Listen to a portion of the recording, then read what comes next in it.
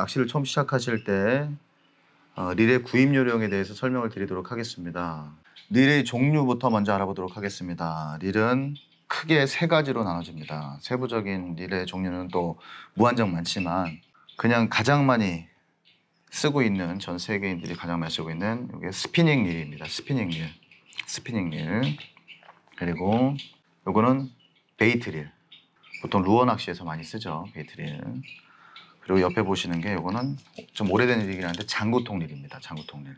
그러면 스피닝 릴과 베이트 릴, 이 장구통 릴을 어떤 용도에 써야 되는지 또는 어떤 장단점이 있는지 간단하게 설명을 드리겠습니다. 일단 파워로 치면 이 장구통 릴이 가장 힘이 좋은 릴입니다.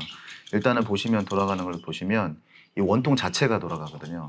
그렇기 때문에 강력한 힘을 발휘해서 여러분 아시다시피 돌돔 낚시를 할 적에는 이 장구통 릴을 쓰죠. 갯바위에서. 그럼 이 무거운 릴을 가지고 바다에서 떠서 배에서 하기는 힘들기 때문에 요거를 집약시킨 릴이 베이트릴이라고 보시면 되는데요. 이것도 마찬가지입니다. 이 원통이 돌아가죠. 이렇게 바로 기업이 자체가. 그렇기 때문에 어, 작기는 하지만 강력한 힘을 발휘합니다. 그래서 우리가 참돔을 잡는다고 해서 이렇게 엄청난 릴을 쓰는 게 아니죠. 보시면 이렇게 작은 베이트릴로 참돔을 끌어들일 수 있는 이유가 이 원통이 돌아가기 때문에.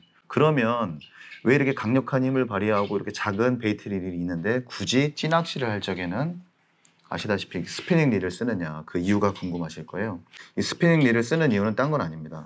처음에는 이렇게 릴들을 개발을 했다가 백래시라고 해가지고 줄이 풀려나갈 때이 원통이 돌아가는 원통이 이렇게 돌아가기 때문에 줄이 뒤로 거꾸로 감아지면서 이 줄이 감기는 현상을 백래시라고 하는데 이런 백래시 현상이 일어나서 원투를 멀리하고 싶다 또는 이 백래시를 막고 싶다는 그 이유 때문에 개발된 게 이 스피닝 릴입니다.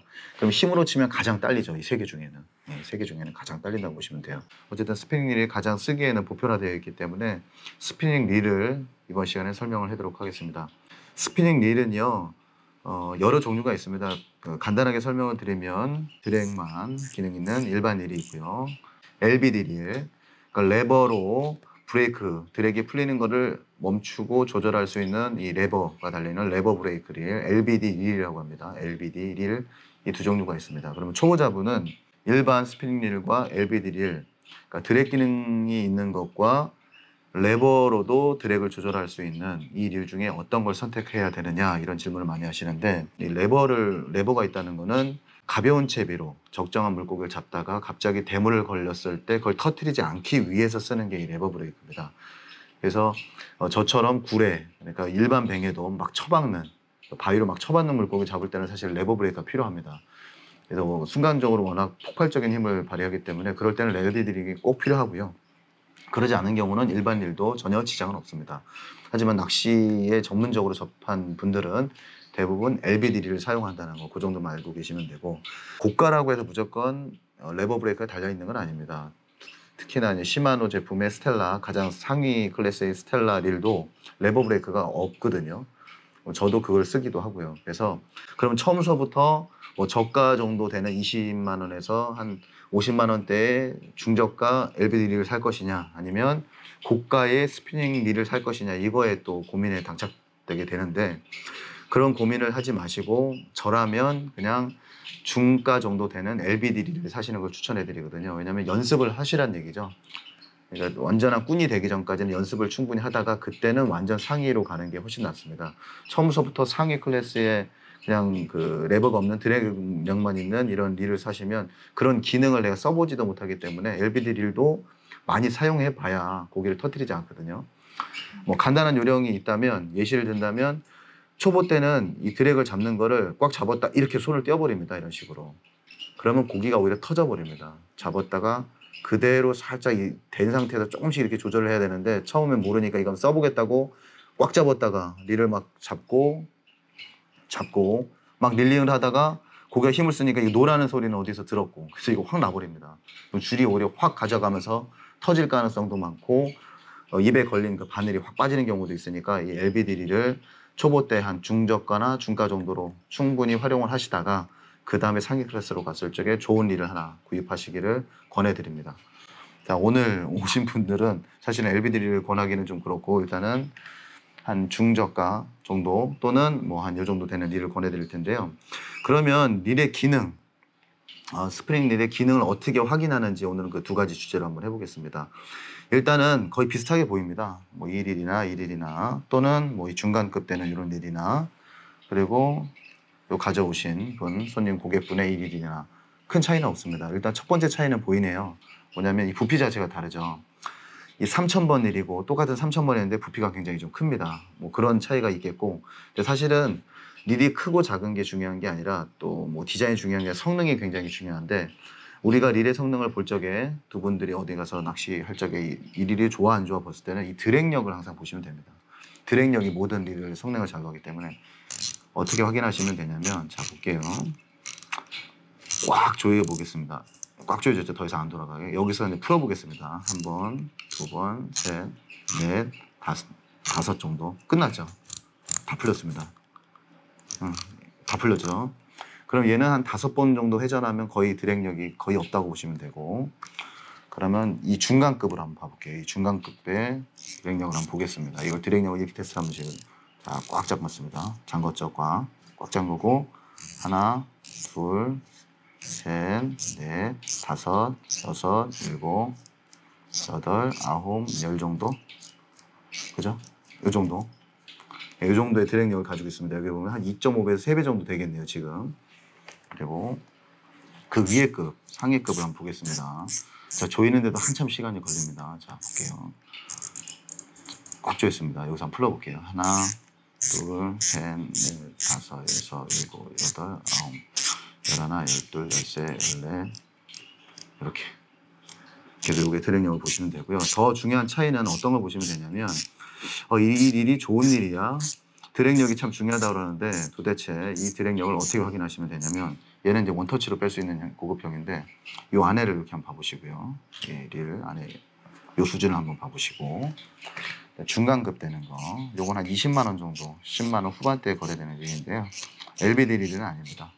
울테그라는 모델인데 어, 기어비가 좋고 어쨌든 잘 부드럽고 제 초보자분들께 가장 많이 추천하고 LBD 쓰기 전에 하는 일인데요. 또 안에를 보시면 이 정도 이렇게 이런 내구성을 가지고 있고 그러면 그 밑에 급을 한번 보여드릴게요. 일단 소리도 약간 이렇게 장난감처럼 플라스틱처럼 이렇게 소리도 나지만 음, 이렇게 안에를 보시면 이게 차이가 일단은 많이 납니다. 보시는 것처럼 안에 들어있는 부속도 많이 다르고 그래서 완전 고가를 한번 보여드릴게요. 제일 비싼 거를 볼게요. 이거는 다이와 중에서 가장 비싼 일인데요. 뭐 비싸다기보다 가장 상급 일인데요. 음.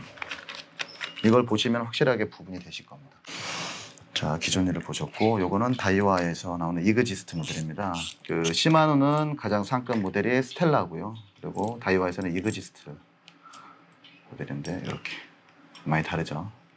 구조 자체가 수준 자체가 많이 다른 걸 보실 수가 있을 겁니다. 안에 있는 부속품들도 좀 많이 다르죠. 그래서 그리고 어떤 게 저거하냐면요. 이 안에 재질 자체가 쇠냐, 티탄이냐, 뭐 이런 거에 따라서 뭐 테크늄이냐 여러 가지 이 재질 자체도 굉장히 다릅니다. 그래서 보통 고객분들한테 그러거든요. 릴을 한번 돌려보라고 합니다. 이렇게 돌려보라고. 아. 어, 일단 드랙력을 조절하는 거는 이렇게 드랙을 돌려서 조절을 해보겠지만요. 일단 릴을 돌려보면 그 수준을 알 수가 있는데요. 일단은 뭐 화면 안 잡히더라도 이렇게 자꾸 한번 돌려보세요. 그 화면 안 잡혀도 됩니다. 돌려보시고 그 느낌하고 그 느낌 그리고 중간급 정도 되는 한 요거 정도 요게 한 10만 원 초반 정도 나스키 모델인데요. 그 정도 되는 일 그런 느낌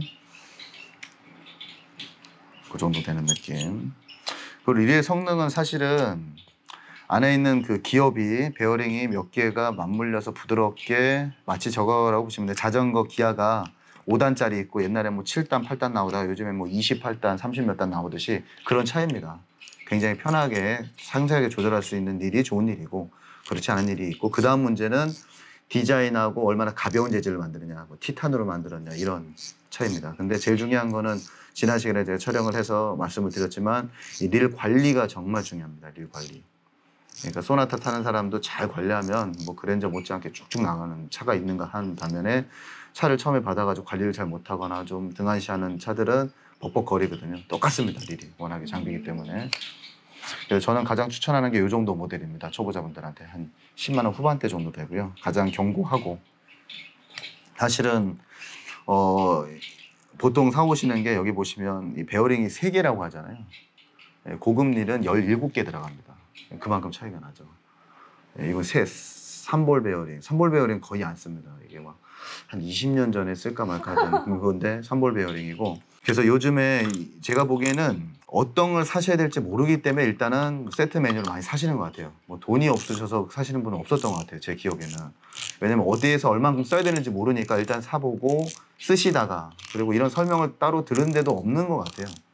저도 설명을 들었다라면 이거 샀다 저거 샀다가 한 네 번 정도 갈아탔는데 그런 염려가 없는데 상세한 설명을 들을 시간도 없었고 그 당시에는 뭐 유튜브가 활성화되지도 않았기 때문에 그걸 들을 시간이 없으니까 그냥 낚시방 가서 추천해 줘. 뭐 하면 좋아요? 그러면 어, 처음이니까 한 10만 원대 후반 쓰세요. 이런 정도로 하다 보니까 내가 선택을 못 했던 건데 이번 설명을 통해서 선택을 하셨으면 좋겠고 딴건 아닙니다. 그냥 기어 비율이 좋다 보니까 좀 부드럽게 감기고 적절한 한 30cm에서 40cm 정도 되는 그런 물고기는 큰 차이가 없습니다, 사실은. 근데 이 릴도 이렇게 표현하면 될 것 같아요. 어, 시마노의 스텔라 릴을 쓰면요, 뱅에돔 4자가 그냥 술술 감겨옵니다. 특별한 그 꺾일 거면 술술술 딸려오고요. 물론 낚시대도 중요하지만, 근데 만약에 여기에 뱅에돔 샘치가 걸렸다 그러면 이 핸들 자체도 안 돌아갑니다. 이게 안 돌아가요, 이렇게. 네, 그런 차이가 아주 큽니다. 그래서 핸들이 돌아갈 수 있고 안 돌아갈 수 있고 이런 극단적인 차이를 보이기 때문에 릴은 옛날에 비하면 굉장히 좋아졌기 때문에 제가 추천하는 건 처음에는 한 요 정도 한 7만 원, 8만 원대면 충분하다고 생각하고요. 그 다음에 완전 상위로 가거나 중간에 어떻게 보면 한 10만 원 후반이나 나스키 모델처럼 이게 한 10만 원 초반이거든요. 이런 일을 하고 한 3년 정도 하다가 건너뛰거나 아니면 아예 그냥 요 정도 일만 하다가 상위로 건너뛰는 게 맞다고 생각을 하거든요. 그리고 처음에는 상위급 릴을 만약 본인이 갖는다 하더라도요 관리를 잘 못합니다. 그래서 그 기능을 발휘도 못하고 필드도 안 나가는데 스포츠카 끌고 다니는 거죠. 고속도로 탈 일도 없는데 시내 그냥 턱도 많은데 그런 데다 낮은 바람 저항도 없는 데다 그런 데서 스포츠카 끌고 다니는 거 똑같은 거니까 처음에는 그냥 일반적인 보통 일을 쓰시다가 한 10만 원 초반이면 충분하다고 생각하고요. 지금은 10만 원 초반이지만 이 기능은 어, 제가 낚시 전문 입문했던 뭐 20년, 15년 전에는 100만 원짜리 정도 되는 아주 최성능을 보이는 일이니까 그걸 보시면 되고 오늘 음 그렇습니다. 그래서 오늘은 릴을 골리는 구입하는 요령 그리고 어느 정도 가격대 그리고 이 drag으로 릴의 성능을 확인한다. 그리고 또 한 가지 있습니다.